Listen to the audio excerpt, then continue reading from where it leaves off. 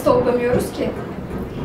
Terk edenleri, terk ettiklerimizi, eski sevgilimize, eski sevgilimizin eski sevgilisini, eski sevgilimizin eski sevgilisinin eski sevgilisini, eski sevgilimizin eski sevgilisinin yeni sevgilisi derken liste uzayıp gidiyor. Peki neydi stalk? Stalk sevgiydi. Stalk emekti. Stalk bizi deli bir merakın ardından dört döndürmekti. Stalk birini gizli gizli sinsice takip etmek. Stalker da avına sinsice yaklaşan bir avcı.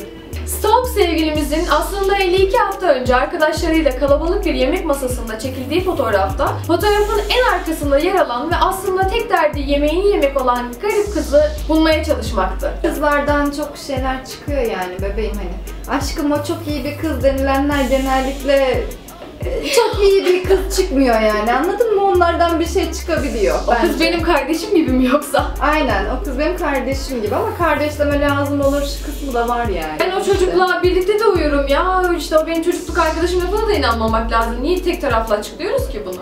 Onlar da Bence genelde de. sıkıntılı çıkıyor. Yani- Sonuçta ben e, şeyi de gördüm biliyor musun? Sevgilisini bir erkek arkadaşıyla tanıştırıyor. Diyor ki bu benim için çocukluk arkadaşım, birlikte uyurum bile falan filan. Aradan aylar geçiyor, sevgilisinden ayrılıyor. O çocukla uyuyor ama kardeş olarak uyumuyor çocukla. Oysa adabı vardır stalk yapmanın. Önce kimi stalkladığını bileceksin. Sonra neden stalkladığını. Değecek mesela onu stalkladığına. Ya keyfine stalklayacaksın, dalgalar geçeceksin. Çünkü kolay yakalanır amatör bir stalker. Bir yanında olmayanı, bir de olsun istediğini stalklayacaksın. Peki nedir stalk adabı? Hazırsanız başlıyoruz. Madde 1. Stalk hesabınızın profilini özenle oluşturun. Yani arkadaşlar yıl olmuş 2018 şimdi gidip de Google'dan fotoğraf araklamanın ya da artık görüşmediğiniz bir arkadaşınızın fotoğraflarını çalıp da arkadan kalleşlik yapmanın bir anlamı yok. Yani biz zaten onları yemiyoruz. Ayrıca 5 tane takipçisi olan ve sorulan sorulara asla cevap vermeyen butik hesaplarından da vazgeçin. Bu bir taşla iki kuş vurmak değildir ve vizyonsuzluktur. Siz de eğer bu videodaysanız zaten vizyonsuz bir stalker olmayı hak etmiyorsunuz. Yapmayın. Madde 2. Stalk hesabından stalkladığın kişiyle sohbet etmeye çalışma.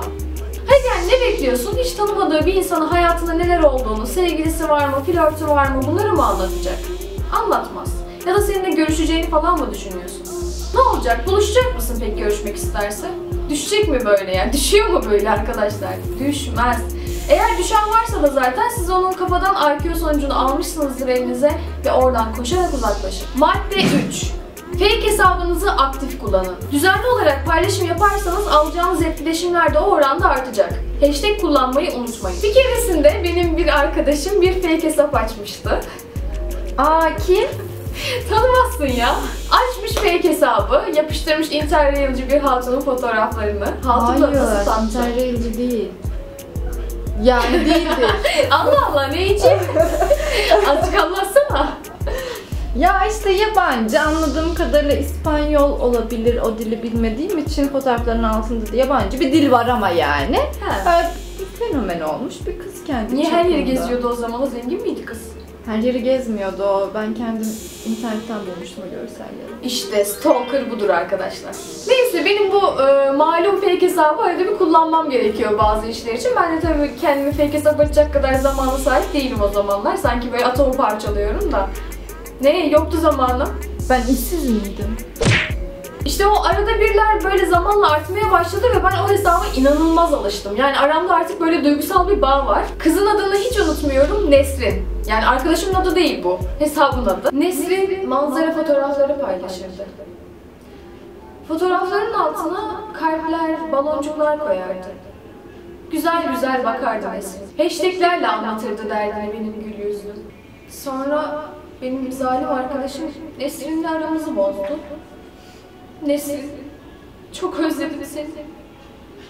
Gerçekten özledim lan böyle söylerken. Yani arkadaşlar anlayacağınız öyle bir profil oluşturun ki siz de o profile artık inanmaya başlayın. Ama dikkat edin bunun sonrası maalesef şizofreniye kadar gider.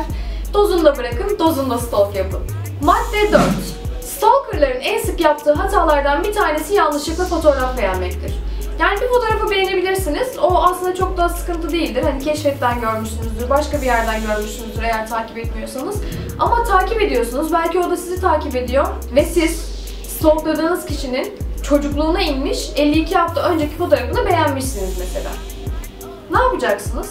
Aslında çok basit. Hemen o stalkladığınız hesabı engellemenize gerek yok. Bütün emeklerinizi çöpe atmıyorsunuz.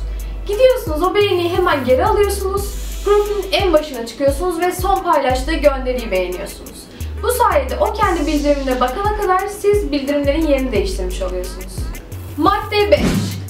Stalkladığınız kişinin etiketlendiği fotoğraflar bölümü size çok önemli ipuçları verecek. En çok etiketlendiği ve etiketlerini bile kaldırmadığı kişinin profiline baktığınızda sizin takip etmeye çalıştığınız kişiyi bol miktarda göreceksiniz. Yani kurbanınızı en çok kim etiketlemişse onun profilinde takip alıyorsunuz.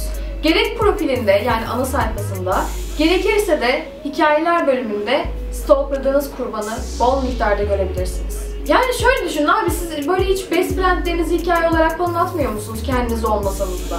Ben yapıyorum. Yani şu an kameranın arkasında olan arkadaşı benim çok miktarda çekmişliğim var. Sadece tek başına onu yani.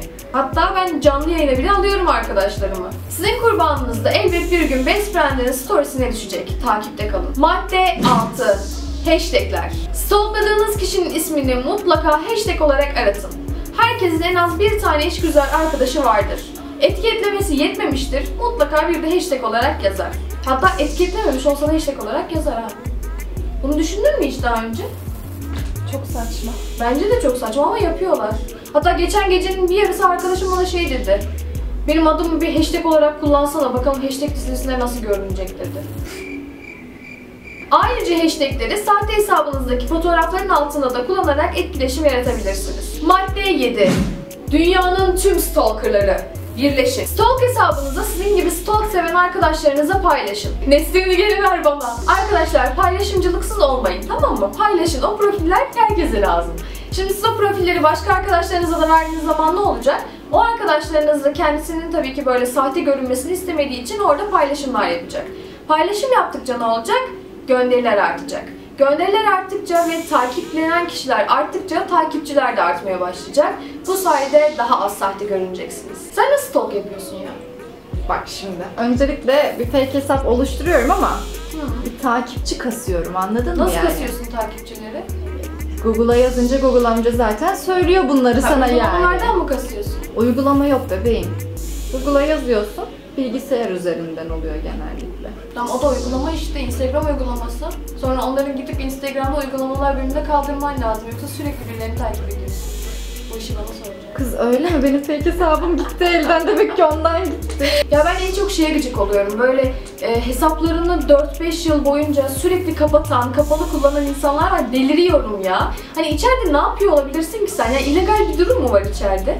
Muhtemelen Varsa bir şeysi bilirim. vardır. Yani neyi saklıyorsun? Bu kadar neyi saklayabilirsin? Senin o maymun götüne benzeyen suratın niye bu kadar önemsiz? Genellikle sevgili yapılınca çiftler birbirine diyor ki hesabını gizle. Hayır dışarıda ne yapacaksın? Adamın suratına kese kağıdı mı takıp dolaştıracaksın yani? O hesabı biraz aç, içeriye biraz oksijen girsin. Yiğitin malı meydanda olur diyorlardı. Nerede bu Yiğit? Hayır yani yasa dışı bir şey varsa gidelim bilişime şikayet edelim. Bir açtırsın orayı, bir temizletelim yani. Ne var orada? Stalkerlar arasında bir de stalkerlık delikanlılar gibi direkt alenen kendi profiliyle yapanlar var. Şekila ben oluyorum o. Artık buna biraz delikanlılık mı dersiniz, biraz deri cesareti dersiniz bilmiyorum ama espri geliver. Ne oldu? Yani niye ben şu anda eski sevgilimin profiline direkt bakıyorum. O da benim profilime direkt bakıyor. Bence ikimiz de çok delikanlıyız. Tamam hadi gidelim. Hadi. Öf bitti. Kapat. Arkadaşlar stalkınız hayırlı olsun. Hayırlı stalklar. Kendinize iyi bakın. Hoşçakalın. Profilimde bu kadar şey yazıyor ama nasıl